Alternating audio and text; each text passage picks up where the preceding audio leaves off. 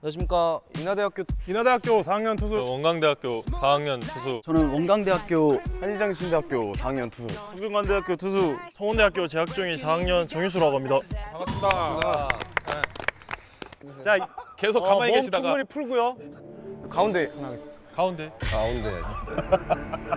가운데만 던지겠다는 자신감 있나?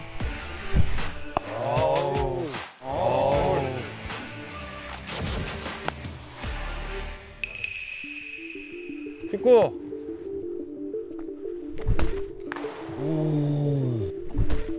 오 나이스 볼.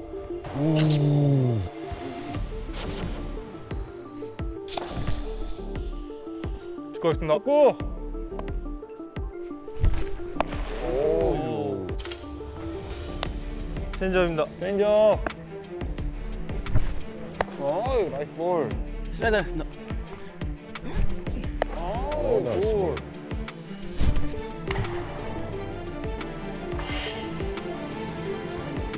커버하겠습니다. 커버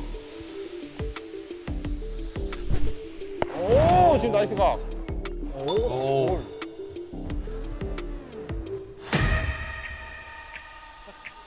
커버하겠습니다 커버 오 nice ball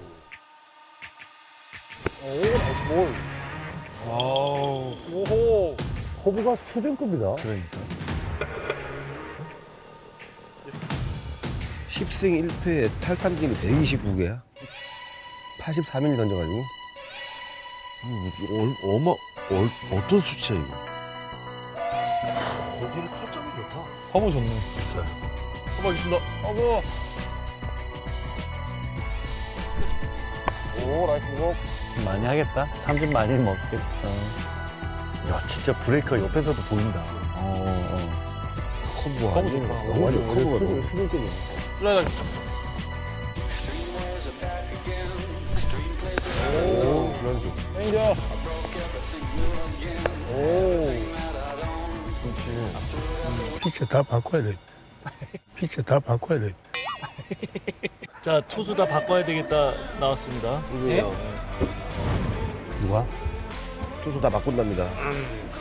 커브.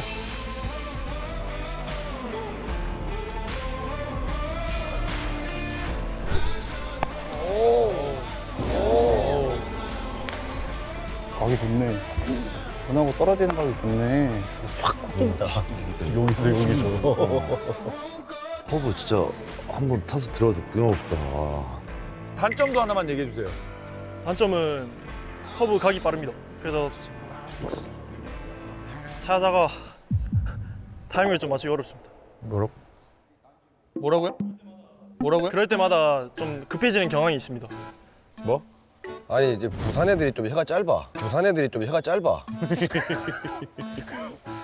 파이팅! 뭐 마지막으로 하고 싶은 얘기? 그래도 후회 없이 마무리 잘했던 것 같습니다. 감사합니다. 수고했습니다.